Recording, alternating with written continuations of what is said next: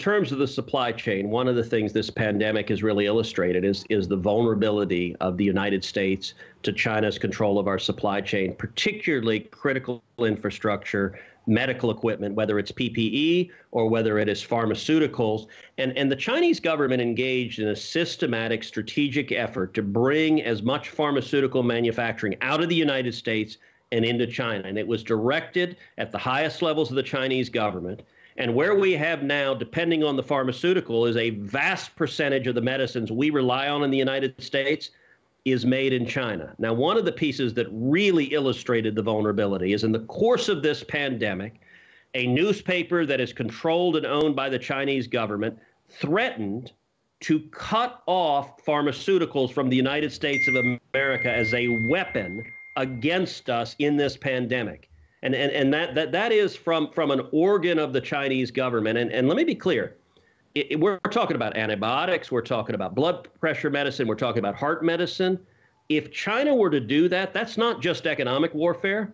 That's actual warfare. That is threatening the lives of Americans by denying them medicines that are life saving medicines they need. And, and I think coming out of this, we're going to have a serious reassessment of how can we possibly let this happen. We cannot be dependent upon upon the beneficence of the Chinese Communist government for life-saving medicine. But how do you get how do you get pharmaceutical companies to move the the their their production there back to the states? What what could you do? You can't order it.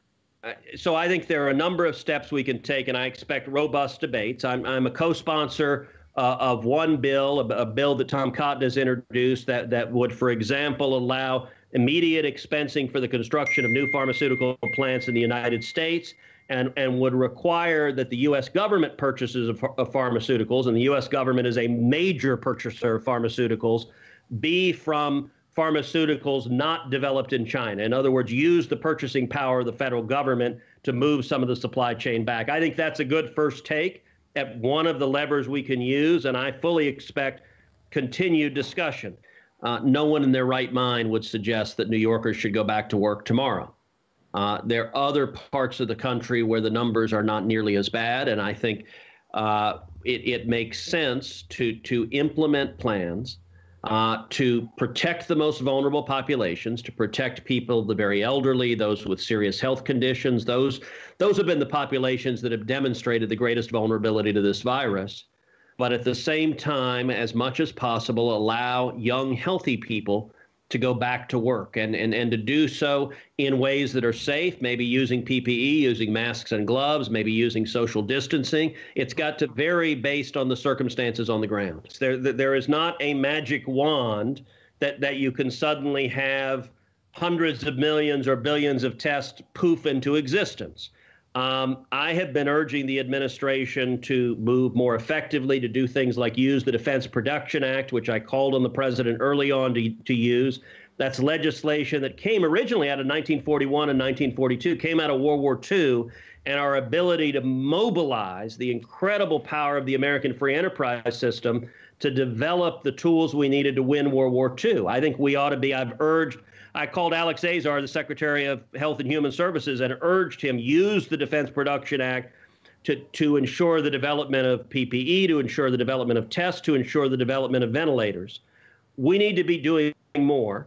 That being said, it is not the case that you've got to have 300 million tests for 300 million Americans before people can go back to work. We have people working now uh, in all sorts of essential industries, and we can we can be prudent about it. People who are asymptomatic, uh, we can be prudent about it depending upon the degree of, of infection and establish policies. And I think uh, the governor of Texas this week is rolling out the standards for the state of Texas. I think that's that is positive.